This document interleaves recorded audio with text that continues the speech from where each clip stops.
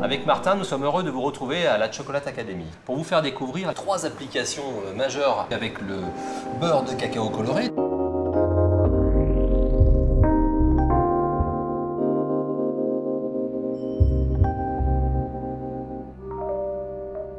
Là, on va utiliser le moule mini bonbon, par exemple. On va utiliser un alcool, un mélange d'alcool et de poudre créative or pour pouvoir donner un relief assez intéressant à nos bonbons. On utilisera également de la- du beurre de cacao rouge tempéré pour pouvoir pistoler le fond de nos moules poisson Voilà, bulle. Sur les poissons bulles, magnifique.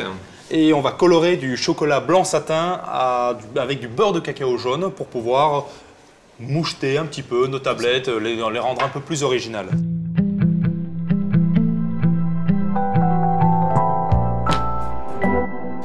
Maintenant, nous avons le chocolat blanc qui est euh, cristallisé à 28 degrés, dans lequel on va rajouter le beurre de cacao coloré jaune. Voilà, à peu près à 35 degrés ce beurre de cacao, pas plus. Donc ici, on a le moule tablette et je vais déposer des petites gouttes de notre chocolat blanc satin coloré. Une fois que l'ensemble des beurres de cacao ont permis donc de colorer le chocolat blanc satin, systématiquement, du moment que vous êtes à 28 degrés, vous pouvez faire toutes les décorations que vous souhaitez à l'intérieur des moules en polycarbonate.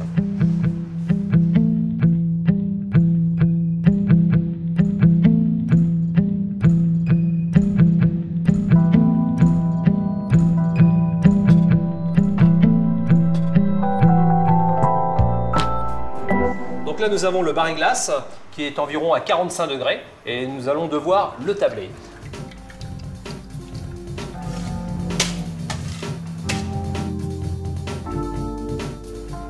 « 26-27 degrés, c'est parfait. Nous allons devoir maintenant la réchauffer à peu près 31-32 degrés maximum. Donc on va s'aider d'un décapeur thermique. Voilà, on a une préparation qui est très liquide, qui est à 31 degrés Celsius. Et donc maintenant, on va pouvoir la pulvériser directement dans le moule tablette 100 grammes.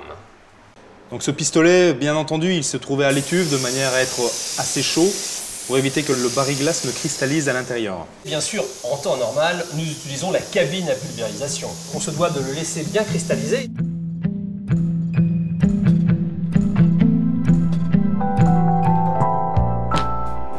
Nous allons voir ensemble une application à base de beurre de cacao coloré et tempéré. Et donc on va passer une fine couche dans notre moule polycarbonate poisson bulle. Donc voici, je pulvérise d'un côté, ensuite je remets toujours mon moule de l'autre côté et je répète le geste quatre fois. De manière à obtenir, comme ceci, un moule bien pistoletté, très homogène et d'une très belle couleur. Voilà, donc ici on a laissé cristalliser notre beurre de cacao coloré. Et maintenant une étape euh, assez importante qui consiste à racler l'excédent de beurre de cacao qui s'est déposé sur le restant du moule. Alors l'avantage bien sûr que ce soit du baril-glace ou que ce soit du beurre de cacao coloré, c'est que vous pourrez réutiliser sans aucun problème bien sûr euh, ces petits copeaux de chocolat. Il suffit tout simplement de le faire au fond et vous pouvez réutiliser pour faire du moulage ou autre chose.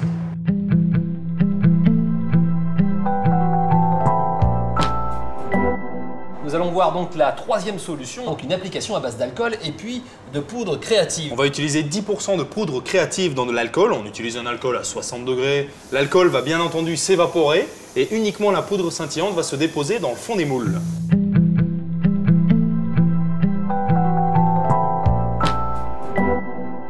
Voilà, nous en sommes à la partie donc moulage. Nous avons deux couvertures bien cristallisées. Une couverture extra bitter Guayaquil à 64% de cacao qui est tempéré à 31 degrés. Et puis un chocolat blanc satin, pareil, tempéré, mais la différence c'est que c'est un chocolat blanc donc à 28, 28 degrés. degrés. Donc Philippe euh, va mouler les poissons bulles avec du chocolat blanc satin. Voilà, on retourne bien, comme ceci. Donc on tape une première fois dans ce sens-là, de façon à évider ce côté-ci, et puis ensuite on retape une deuxième fois pour avoir une bonne épaisseur, bien régulière surtout. On retourne sur feuille de papier de façon à refaire justement une petite collerette qui permettra de fermer correctement le moulage. Et moi je vais réaliser les tablettes 100 grammes à l'aide d'une poche. Ce qui est important essentiellement dans tout le moulage un peu épais, c'est bien sûr de passer très brièvement le moulage au frigo pendant environ une dizaine de minutes afin d'avoir une cristallisation parfaite Donc on va remplir nos moules comme ceci. Et ici, on va bien taper, car nous sommes sur les mini bonbons. Et donc comme il y a évidemment du relief dans notre moule, on va essayer d'éviter les bulles d'air. On est vide. Donc maintenant, il ne reste plus qu'à refroidir l'ensemble de ces moulages pendant environ 10 minutes à un quart d'heure selon l'importance. Et puis ensuite, on pourra bien sûr démouler.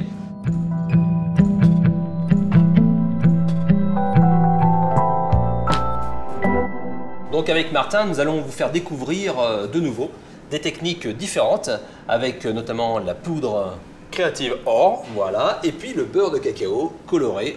Donc euh, concernant cette poudre créative, on l'a mélangé directement avec euh, du beurre de beurre cacao. de cacao micrio. Voilà, j'utilise du beurre de cacao micrio tempéré, hein, dans lequel j'incorpore ici ma poudre scintillante, ma poudre créative or.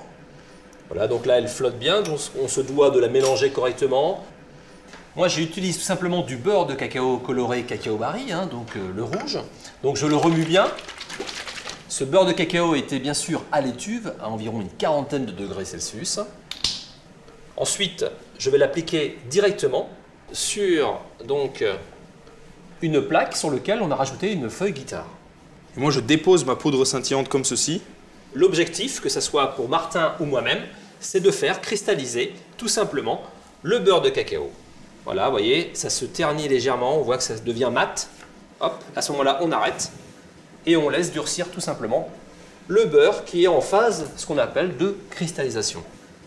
Et là, si on voulait bien sûr personnaliser encore mieux et encore plus donc cette décoration, nous pourrions juste, au moment de cette étape, faire des décors comme ça, vous voyez.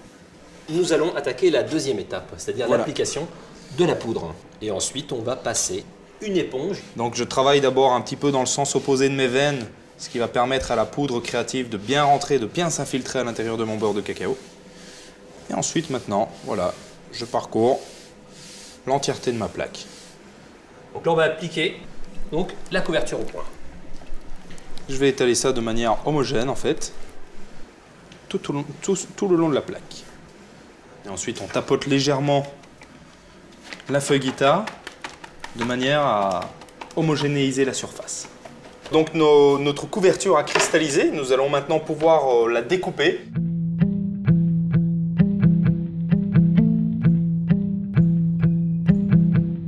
Donc voilà le, le résultat, le rendu en fait de ce qu'a fait Martin et puis ce que j'ai fait également.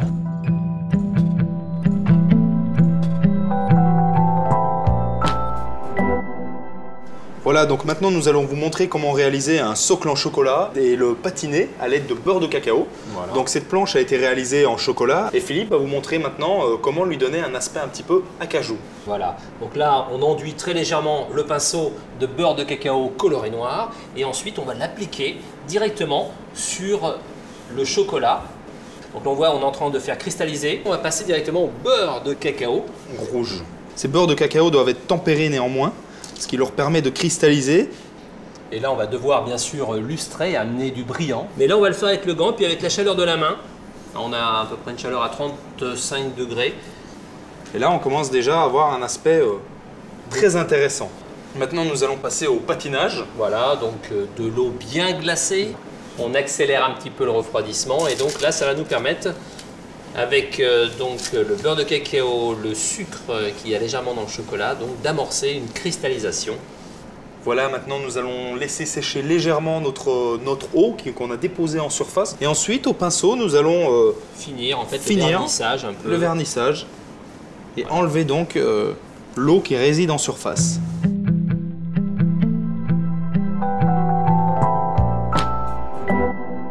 Voilà, avec Martin, nous avons mis donc en valeur le travail euh, des trois applications euh, majeures qu'on a vues avec le beurre de cacao coloré. Donc on a les éclats sur notre droite.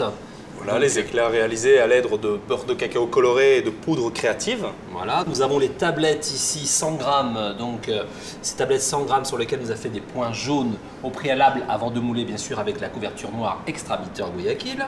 Nos poissons bulles ici qui sont bien mis, en, bien mis en valeur, un petit peu comme ça, en gravité. Voilà. Et puis, bien sûr, les bonbons qui se trouvent juste ici, sur lesquels nous avions pulvérisé tout simplement de la poudre créative avec un tout petit peu d'alcool de façon à ce que ça reste bien au fond du moule. Et le tout déposé sur notre support qui a été patiné de nouveau à l'aide de beurre de cacao noir et de beurre de cacao rouge pour donner cet aspect acajou.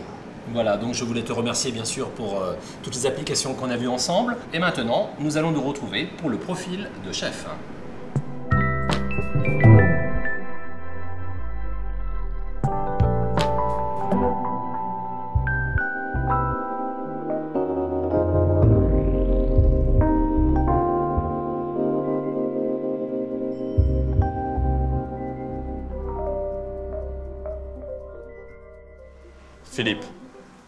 Question d'Arnaud Larère pour toi.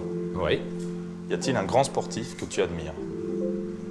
Pour moi, c'est Zidane, pour ce qu'il représente et puis euh, son sens du dévouement pour, euh, pour la France par rapport euh, notamment euh, à l'équipe de France. La deuxième euh, question d'Arnaud Larère pour toi, Philippe. Oui. Peux-tu nous raconter une anecdote marquante? Euh, une anecdote euh, dans ma profession, c'est, euh, je pense tout de suite à Piccadilly, Piccadilly en Angleterre, en plein centre. Euh, il y avait donc une grande réception, il y a à peu près 200 personnes. J'étais censé présenter une pièce sur le thème de Noël. Donc je prépare cette pièce durant à peu près deux jours, donc une très belle pièce en chocolat, avec un gros bonhomme de neige au plein centre de cette pièce, et puis dix minutes avant de la présenter, elle s'écroule. Euh, donc bien sûr, pour moi, euh, c'était un peu la panique. hein. J'avais 25-26 ans. C'était un peu la panique. Et donc, euh, je suis allé voir la personne qui orchestrait euh, la soirée. Et je lui ai demandé de, de baisser la lumière au moment où j'allais passer. Donc c'était la première euh, chose qui me permettait de passer le plus discrètement possible. Mais euh, la deuxième chose qui me fait bien rire, c'est que j'ai rajouté des fumigènes euh, dessus, type gâteau d'anniversaire, de façon à ce que ça scintille. Et puis je suis surtout passé pour la troisième fois, je suis passé très très rapidement pour éviter que les gens ne voient la pièce. Et puis ils ont tous applaudi. Donc je me suis dit qu'en fait, il n'y avait pas que le métier, il y avait une notion de spectacle dans ce qu'on faisait. Et pour moi, c'était un des, un des grands moments. voilà, avec beaucoup de peur en tout cas. J'ai maintenant une question d'Emmanuel Rion Oui. qui aimerait savoir s'il te reste encore des projets ou des rêves. Alors des projets et des rêves, bah, c'est ce qui fait vivre euh, la, ma- la majeure partie des gens, je pense. C'est vrai que j'ai la chance de travailler euh, au sein d'un groupe qui, euh, qui, qui fait du, du chocolat. Je suis meilleur de France chocolatier, donc ça correspond totalement à ce que je fais. Ça fait quelques années que je le fais. Mes projets, c'est de continuer à trouver des, euh, produits d'innovation. Donc avec Philippe Marant, déjà, on a créé un produit qui s'appelle le beurre Micrio. Et puis, euh, c'est vrai, euh, mon prochain projet est de créer une nouvelle façon d'aborder le, chocolat. Et je suis sûr je suis sûr qu'avec ce groupe Cacao Barry Barry Calbo, j'y arriverai. Donc, c'est dans ma perspective. Et puis, bien sûr, euh, créer des nouveaux produits, des gammes de bonbons, des choses comme ça.